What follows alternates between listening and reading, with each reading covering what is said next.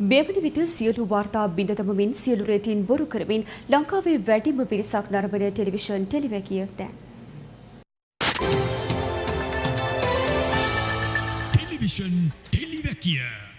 ලබන වසරේ රජයේ වියදම රුපියල් ට්‍රිලියන හතයි දසම නමයක් ලෙස ගණන් බලා අවසන්. පසුගේ වසරේ රජයේ වියදම වනේ රුපියල් ට්‍රිලියන හයයි දසම දෙකක් නේද.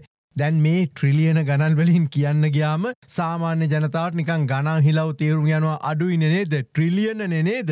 ඒ නිසා මේ රුපියල් කෝටි හෝ මිලියන බිලියන ගණන්වලින් අපි මේක ගණන් හදාගමු හිමින් සීරුවේ. රජයේ ආදායම් සහ වියදම් නිවැරදිව දැන ගැනීම හරි වැදගත්න්. රජය ආදායම් ලබාගන්නේ වියදම් වලට වියදම් කරන්ට. හැබැයි ලැබෙන මුදලට වඩා වියදම් කරනවනං සද්දා කාලික නයයි නේද. ඒ වගේමයි ලැබෙන මුදල් නිකරුණේ නාස්ති කරනවා නම් විනාශ කරනවනම් පලක් නැති වැඩවලට යොදවනවනම් ඉතින් ආයේ ගොඩේමක් නෑමනේ නේද ඇත්තටම දැන් පරිස්සමින් බලමු අපේ රටට වනේ සහ වෙමින් තිබෙන්නේ කුමක්ද කියලා නේද. අපේ රටේ ඉදාම වැදගත් ආයතනයක් විගෙනකාධිපති දෙපාර්තමේන්තුව. ඉතිහාසේ පුරාම මේ රාජ්‍ය ආයතන සම්බන්ධ මූල්ලේ තොරතුරු හෙළිදරව් කරන්න හෙළිදරව් කරන්නේ විගෙනකාධිපති දෙපාර්තමේන්තුව. විගෙනකාධිපති වාර්තාවන්ට අනුව මේ රට විනාශ මුකයට ඇද දැමූ සහ ඇද දමන ප්‍රධාන සාධක තුනක් තිබෙනවා. එක දූෂණය. දෙක වංචාව සහ තුන්වෙනි එක නාස්තිය. දැන් අපි ඉන්නේ ණය කන්දක් උඩ. අපට හෙටත් ණයගන්ට සිද්ධ වෙනවා. ඇත්තටම නයක් ගත්තහම පොලියත් එක්කම ගෙවන්ට ඕනෙන නේද. නයක් ගත්තම ඒ ණය යම් ආයෝජනයකට යොදවන්ට ඕනේ නැත්තම් ඒ ණය මුදලට වැඩි මුදලක් උපයන්න ඕනේ. ඒක තමයි ඉතාම සරල න්‍යාය.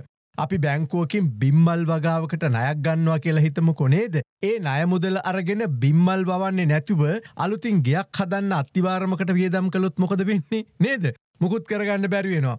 අපි රටක් හැටියට මේ තාක්කර් කරලා තියෙන්නෙම නයක් අරගෙන ඒ නය නියම පරිදි ආයෝජනය කළේ නැතිකම. ඒ නයවලින් හොරාකාපු එක ඒ නය මුදල් නාස්ති කරලා දාපු එක. විස්සයි විසියක වසරේ රජයගත් නයවලින් විශ්වාස කරන්න සියට හතලිස් දෙකයි දසම හතරයි එකක්ම වැය කරලා තියෙන්නේ රජයේ සේවක බැටු පා නඩත්තු වියදම් සඳහා. හරිද මෙහිදී ඔය සමහර රාජ්‍ය ආයතනවලට සේවක වැටුප වගේ පස්ගුණයක් ඕටි එහෙමත් නැත්තම් අත්තිකාල ගෙවලා තියෙනවා. විවිධ දීමනා ගෙවලා තියෙනවා. මේවට අමතරව පාලකින් ඔය තමන්ව බලයට ගේන අය ඉන්නවන නේද. බලයට ගේන අය නේද. අං ඒ අයටත් මාර චාන්සකත් දෙනවා. පුදුම වර දෙන්නේ අපිට කවදාවත් ලැබෙන්නේ නැති වරප්‍රසාද. හරිද ඇත්තටම ඔය මේ බදු සහන කියන කතාව එන්නේ ජනතාව වෙනුවෙන් නෙමේ එකැන මේ ඔබට මට නෙවේ හොඳට මතකතියා ගන්ට හොඳේ. ඒ තමන්ට තම පක්ෂයට බලයට එන්නට සහය දුන්න ව්‍යාපාරකින්ට හිතවතුන්ට තමයි ඔන්න ඔය බදු සහන දෙන්නේ. ඊට අමතරව දේශපාලනක්කින් මැති ඇමතින්සේම ඔය සමහර නිලධාරිනුත් දූෂණ අක්‍රමිකතා නියමටම කරනවා ජනතාවගේ බදු මුදල් වලින් නිකන් නෙමේ මහ පරිමාණ වශයෙන් හොඳේ දැන් විගෙනක වාර්තාවක් අරගෙන බලමු විගෙනක වාර්තා කීපයක්ම සලකල බලමු. විගෙනක වාර්තා සියල්ල සලකා බලන්න ගියොත් ටෙලිවැකි පණහක් හැටක් ලියන්ට පුළුවන්. හරිද? ඔන්න අපි අරගෙන බලමු. දෙදස් දහනමයට සාපේක්ෂව විස්සයි විස්සෙදී. හරිද? ගෝටාබේ රාජපක්ෂ පාලනය දුන්න බදු සහනය. දෙදස් දහනමේ සිට විස්සයි විස්ස වෙනකොට එකැන දෙදස් දහනමයට සාපේක්ෂව විස්සයි විස්සෙදී රජයේ බද්දු ආදායම සියට හතලිස් නවයකින් අඩු වෙලා අරාපූරු බදු සහන නිසා. හරද?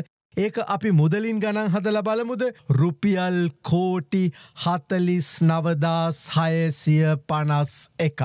කෝමද බදුසානය. රුපියල් කෝටි හතලිස් නවදස් හයසිය පනස් එකක් හිතමිතුරන්ට යාළුවන්ට නේද රජ මගුල්. ඉළඟට අපි අරම් බලමුද ඔය මේ. රාජ්‍ය ආයතන ඇතුළේ තියෙන දූෂණ වංචාවල ප්‍රමාණ උදාහරණ එකක් කරම් බලමු විද්‍යුත් ජාතික හැඳුනුම් පත් කතාවක් මතකයින නේද දෙදස් හයේදි තමයි ඔය විද්‍යුත් ජාතික හැඳුනුම් පත් හඳුන්වාදීමේ ව්‍යාපෘති ආරම්භ කරන්න දෙදස් හයේ හොඳේ අදටත් මේ ජාතික විද්‍යුත් හැඳුනුම් පත් ව්‍යාපෘතිය අවසන් වෙලා නෑ. ඒ ඇන දැන් වසර දාසයක් විතර ගත වෙලා. දන්නවද වැෑ කරලා තියෙන මුදල රුපියල් කෝටි දෙසිය හැට හයක්. කොමද ගාන. ඉවර කරගන්ට බැරිමුණු වැඩක් වසර දාසයයි රුපියල් කෝටි දෙසිය හැට හයයි. මොන්න කාර්යක්ෂමතාවයක්ද නේද. ඉළඟට ඔය ඉන්දිය නය ආධාර යටතේ දුම්රිය මැදිරි මිලදී අරගෙන තියෙනවා. මේක නයක් හොඳේ ඒ ණය සඳහා වැය කළ මුදල දන්නවාද රුපියල් කෝටි එක්දස් එකසිය පනස් හයක් හරිද දැඟිතින් කමක් නෑ මේ දුම්රිය මැදිරින ගෙන්න්නන්නේ ඔන්න දුම්රිය මැදිරි එකසිය හැටක් ගෙන්න්න තමයි ගියවසුම ගහලා තියෙන්නේ. හැබැයි ඒ ගියවසුමේ තියෙනවා පලවෙනියෙන්ම දුම්රිය මැදිරි දහයක් ගෙනල්ල දුවල බලලා උචිතත කියලා තීන්දු කරන්න ඕනේ. ඊට පස්සේ තමයි ඉතුරු එකසිය පණහ ගේන්නේ කියලා. නමුත් මොකොදන්නවද කරේ? අර රුපියල් කෝටි එක්දාසකසිය පනස් අයර මහනායකන්ද හරිද? මැදිරි දහයක් ගෙනාව. ගෙනල්ලා මේ මැදිරි දහය ධාවන පරීක්ෂාවකින් තොරෝ පැත්තකට කරලා තියලා ඉතුරු එකසිය පණහත් ගෙන්නවා. කෝමද වැඩේ. ගෙනල්ල ටික දවසක් යැනකොට කියනවා පෙට්ටි ලොකුයි දිගයි පලලයි දුවන්ට බෑ අනතුරු වෙනවා කියලා. ඉතිං ඇ ඇත්තටම මේවා ගෙන්න්නපු අපරාධකාරින්ව උල තිබ්බත් මදිනේද උල තිබ්බත් මදිනේද. ඉළඟට මරුවැඩි කියන්න ඔය දුම්රිය මැදිරවල තියන්ට ඕනේ ගිවසුමට අනුව යම් කිසි ආසන සංඛ්‍යාවක් තිබිලා තියෙන ගෙනල්ල තියෙන මැදිරවල ආසනත් අඩුවේ කියැනෙ ආසනය ගානෙනුත් ගහලා. රාජ්‍ය ආයතන විධ උත්සවලට ඔබ දන්නවානේ මොන්න තරම් ජනතා බදු මුදල් කාබාසනයක් කරනවාද කියලා නේද. උත්සව කිව්වොත් බුදු අම්මෝ ඊට වඩා සතුටක් ඔයි රාජ්‍ය නිලධහරින්ට නැහරද අර නිදාගෙන ඉන්න පුටු උඩ ගොරෝගොරෝ ඉන්න ටයිපටි බෙල්ලෙන් එලිය තියෙන උදවේ බලන්න එපා එවෙලාවට නැගිටලා දුවන දිවිල්ල නේද. ඔන්න එක උදාහරණයක් මේ මෛත්‍රපාල ජනාධිපතිගේ කාලේ සෞඛ්‍ය ඇමතිවරයට උපහාර උල්ලක් සංවිධානය කරලා හරිද?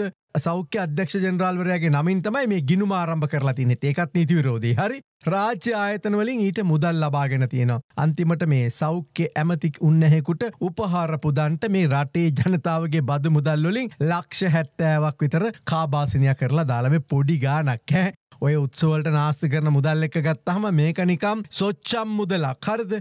ඉළඟට මතක දර සයිටම් ආයතනය නේද අර දෙදස් දාහතේ අර ජූනිවලදී ඔය සයිටම් ආයතනය මේ රජයට පවරගන්න කැබිනට් අනුමැතිය ලැබුණන නේද. කිසිදු ගිවසුමක් ගහන්නේ නැතිව.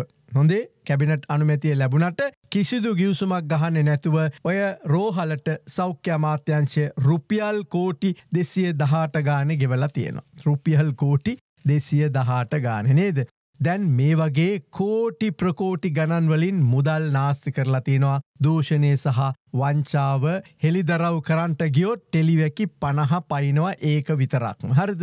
දැන් ඇත්තටම අපිට මොකද වෙලා තියෙන්නේ අපි පිට බදු පිට බදු ගසමින් ලෝකේ හත්තර අතින් අය ගනිමින් මේ රට බංකොලොත් කරන්නේ මෙන්න මේ සැලසුම් සහගත හොරු පිරිස කියලා දැන්වත් තේරුම් ගමු. එහිලා මේ හොර දේශපාලනක්ඥයින් රාජ්‍ය නිලදහරින් එදත් අදත් හෙටත් මේ රට කොල්ලකෑ අතර කොල්ල කමින් සිටින අතර තව දුරටත් කොල්ල කෑමට නියමිත බව අද ටෙලිවැකිය ඔබට මතක් කරනවා.